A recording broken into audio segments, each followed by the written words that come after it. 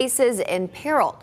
It highlights historic buildings across Georgia that are at risk of shutting down. WJCL Sharon Johnson has more on the centuries old building and what can be done to save it. The Georgia Trust for Historic Preservation releases a list every year called Places in Peril. The Asbury United Methodist Church right behind me is one of 10 historic landmarks on this year's list. The church is celebrating 150 years. It's the only African American Methodist church in Savannah's Victorian district. The Georgia Trust for Historic Preservation's president says the building needs many repairs to fully serve the community again.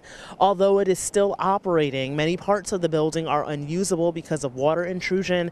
Lack of accessibility is another issue facing the congregation. It was nominated by members of the church in, in hopes that the increased awareness of the building would uh, give some fundraising uh, impetus, and there could be some uh, monies that come in to help renovate the building. The list seeks to identify and preserve historic sites threatened by demolition, neglect, development, or lack of maintenance. Asbury United Methodist Church was picked out of a list of more than 30 nominations.